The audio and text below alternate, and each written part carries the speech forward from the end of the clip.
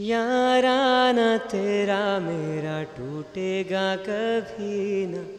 साथ ये तेरा मेरा छूटेगा कभी ना। याराना तेरा मेरा टूटेगा कभी ना। साथ ये तेरा मेरा छूटेगा कभी ना।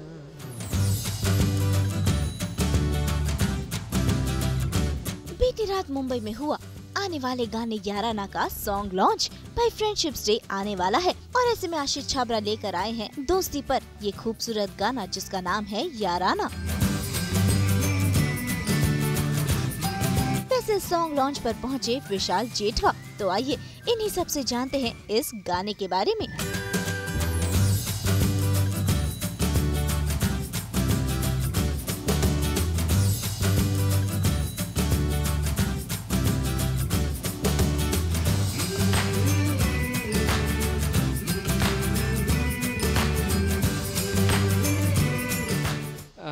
आज का दिन बहुत स्पेशल है मेरे लिए बिकॉज़ एक्चुअली फ्रेंडशिप ऐसा कॉन्सेप्ट है जिसके ऊपर जो भी गाने बनाए गए हैं वो सारे एवरग्रीन हैं और वो एक ऐसा उसमें अफेक्शन ऐसा प्यार है जिसके लिए um, एक अटमोस्ट ऐसी फीलिंग आती है जब uh, हम सेल्फलेस लव की बात करते हैं ना वो हमें अपने फ्रेंड्स के लिए आती है। और एक टाइम आता है जब हमारे साथ कोई भी नहीं देता है। We have no one to love no one uh, is there to affection uh, to to give us affection.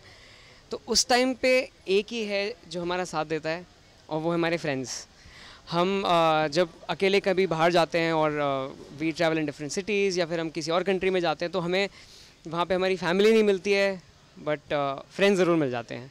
तो ये एक ऐसा रिलेशन है जो कहीं भी बन सकता है.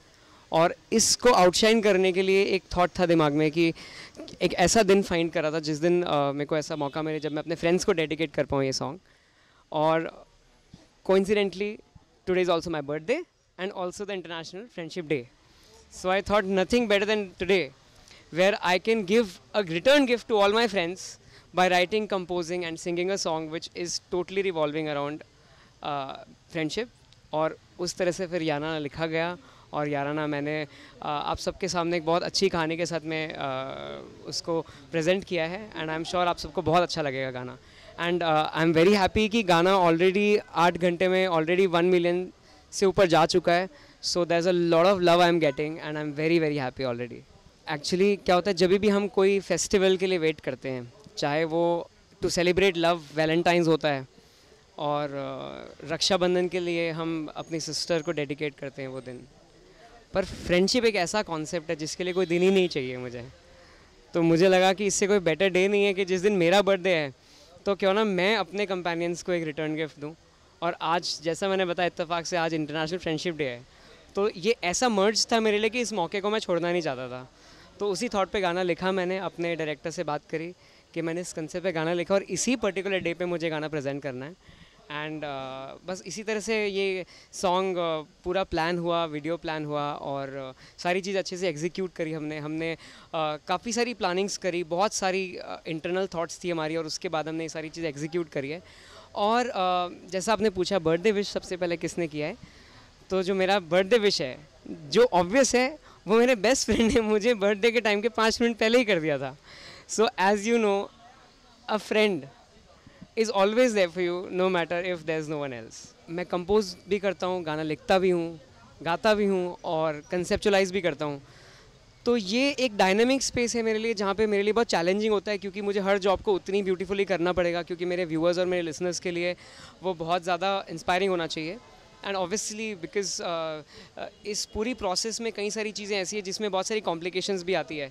कभी कहीं पे au- कोई ऑपोजिशन लिरिकली हो सकता है, कभी डायरेक्शनली प्रॉब्लम आ सकती है। तो मैं सारे डिपार्टमेंट्स को एक्सप्लोर करते हुए I like to be creative मैं चाहे वो डायरेक्शन हो चाहे वो राइटिंग हो कंपोजिंग हो मैं सारी चीज़ में थोड़ा इंटरेक्शन करता हूँ और उस क्रिएटिव स्पेस को एक्सप्लोर करते हुए अ, ये पूरे गाने का कॉन्सेप्ट कंप्लीट हुआ. एंड मैं जितने भी सॉन्ग्स अभी बना रहा हूँ और जितने मेरे पास बन चुके अभी तक यू विल सी कि मेरे सारे सॉन्ग्स को कंपोज भी मैंने किया है लिखा भी मैंने और गाता भी मैं ही हूँ. इसका रीज़न ये कि डिफरेंट इंडिविजुअल स्पेसेस है जो मैं खुद ही कवर करता हूँ तो कहीं ना कहीं वो मेरे लिए ईजी भी होता है, क्योंकि मेरी ही कॉम्पोजिशन को मुझे केटर करना है तो आई ट्राई माई बेस्ट कि मैं उसको किस बेस्ट स्पेस में इम्प्लांट कर सकता हूँ। So creatively it becomes easy ma'am, ये एक बहुत ऐसा डिबेट है आज की डेट में जिसको मैं इस समय तो नहीं कहना चाहूँगा बट ये हम सबको पता है कि हम ना एक ओरिजिनल सॉन्ग्स की जो वैलिडेशन है और जो ओरिजिनल सॉन्ग्स का प्रेजेंस है वो आज की जनरेशन और इस करंट डेकेड में मुझे लगता नहीं है कि हमारे पास है। एंड uh, मैं अभी भी सुनता हूँ कि पुराने गाने लता जी के और रफ़ी जी के इतने सारे सॉन्ग्स जो हम सब सुनते आ रहे हैं। उन पर रीमिक्स भी बनते हैं जैसे आपने कहा रीमिक्स बहुत अच्छे भी होते हैं कई सारे अच्छे भी होते हैं। लेकिन एक सॉन्ग की जो लाइफ है समहा वो लाइफ आज की रेट में बहुत ज़्यादा कंट्रोल्ड है। वो लाइफ मुझे लगता है कि हम एक हफ़्ता दस दिन फिफ्टीन डेज़ तक एक गाना सुनते हैं और उसके बाद हम जब भी उस गाने को दोबारा सुनते हैं तो हमें लगता है कि अभी इसका एक्सपायरी आ गया है।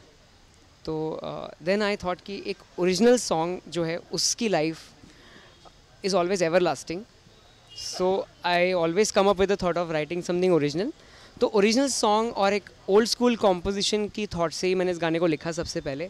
और क्योंकि रूट्स में फ्रेंडशिप है इस गाने की तो कॉम्पोजिशन भी उसी के अराउंड बनाया और गायकी भी उसी तरीके से की गई है। और आप देखेंगे जितने भी सीन्स डिपिक्ट किए गए वीडियो में भी वो सारे हमारे रियल लाइफ से बहुत ही टाउनी और बहुत ही ऑर्गेनिक फ्रेंडशिप में बहुत सारी चीज़ें रिफ्लेक्ट करती है। सो so, uh, वो सारी चीज़ों को कंपाइल करके ये बहुत अच्छा मोमेंट हमने क्रिएट किया and I am very very happy very thankful and very excited all of the things together Yaarana तेरा मेरा टूटेगा कभी ना। साथ ये तेरा मेरा छूटेगा कभी ना। याराना तेरा मेरा टूटेगा कभी ना। साथ ये तेरा मेरा छूटेगा कभी ना। ओके okay, तो याराना का यारा भी अच्छा लगा और भाईचारा भी अच्छा लगा। आ, सच कहूँ तो मुझे सॉन्ग सचमुच बहुत पसंद आया दिल से पसंद आया। और आज का दिन सचमुच बहुत सारे रीजंस की वजह से बहुत ज़्यादा स्पेशल है क्योंकि अनीश का एल्बम लॉन्च है चारों दोस्त मेरे हैं और आज इनका बर्थडे है। साथ में आ, मेरा भाई मेरा छोटा भाई वो इस सॉन्ग के साथ अपना एल्बम में लॉन्च कर रहा है और वो डेब्यू कर रहा है तो मेरे लिए ये इससे इसलिए बहुत ज़्यादा स्पेशल है। दीपक मेरा फ्रेंड इतने साल हम दोनों साथ में ऑडिशन करते हैं और हम दोनों ने साथ में बहुत सारे ऑडिशनों में धक्के खाए हैं ट्रेन में, फिर बस में हमें एक दूसरे को लिफ्ट दिए, इतना सारा काम हमने साथ में किया। और आज मुझे अच्छा लग रहा है कि मैं उसके सॉन्ग लॉन्च में मैं आया हूँ और भाई को फ़र्स्ट टाइम मिला हूँ बट अमेजिंग वर्क अभी याराना हो ही जाएगा। अमेजिंग वर्क बहुत ब्यूटीफुल सॉन्ग है। फ्रेंडशिप के लिए इतना अच्छा सॉन्ग बनाया है. Thank you for making this song और कोई भी एक सॉन्ग पे इतना काम करना और इतना यहाँ तक पहुँचाना ये ज़रा भी इजी काम नहीं होता. इसके लिए बहुत मेहनत लगती है और भाई ने बहुत ज़्यादा मेहनत की है. एंड आई होप कि ये लोगों के दिल तक पहुँचे और बहुत अच्छा काम करें. एक चीज़ जो मैं ऑलरेडी हम लोग याद करके आया वो मेरे मैं चाहता हूँ मेरा भाई बोले. वो वाली बात जो बोली थी ना कि हमेशा मैं इसके लॉन्च पे जाता हूँ ये वाला. अच्छा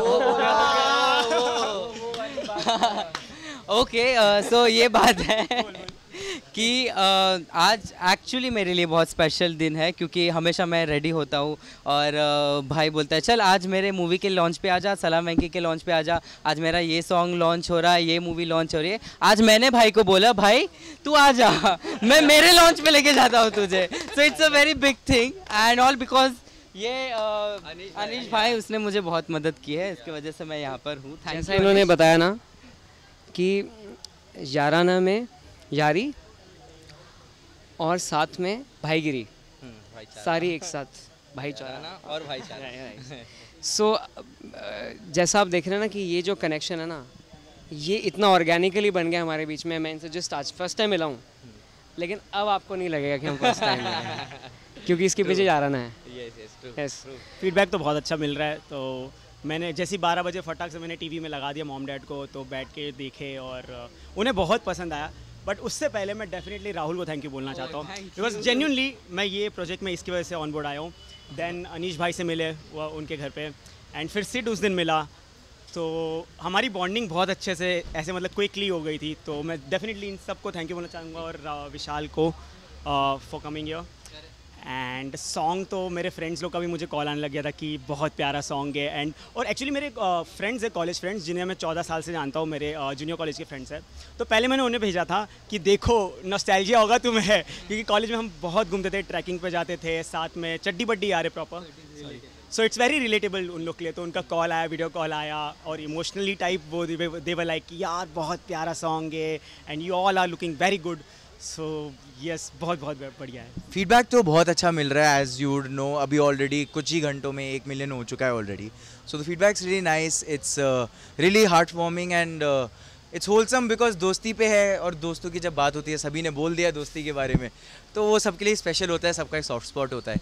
So that way everybody is feeling good, everybody is hearing good things and we pray we meet much more millions, yeah. तेरी मेरी दोस्ती इतनी खास हो कि पूरी दुनिया का है काश ऐसा दोस्त मेरे पास भी हो या सबने किया मुझको अनजाना तेरे सिवा मुझे किसने है जाना याराना तेरा मेरा टूटेगा कभी ना।